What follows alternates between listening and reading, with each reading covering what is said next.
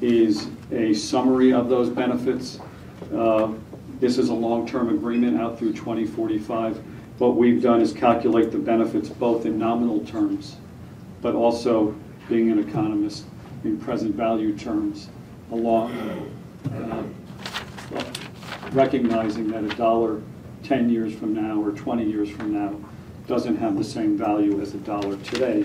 And I don't think it's fair to look at a benefit of a dollar 20 years from now as you would as a dollar in your pocket today.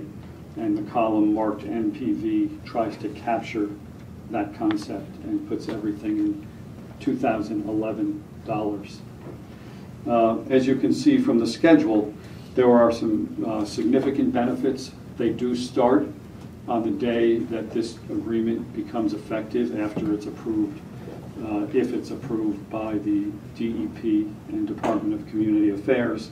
And as you go down the list, we've uh, stated them in five different categories. One is improved lower waste disposal fees, which over the term are benefits of the $28 million that you see there.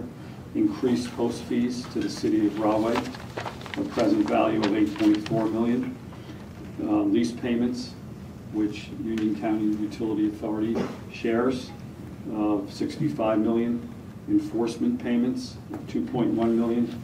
And a down-the-road benefit, which is in 2029, rather than Covanta Union selling all the energy, this is a very large generating facility as well as a solid waste processing facility, sells that energy into the wholesale marketplace.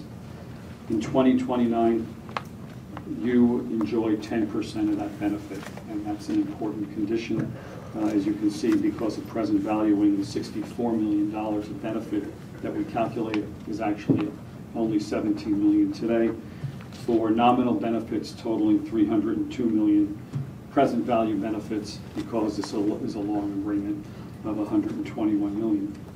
So that's a summary of the benefits. Um,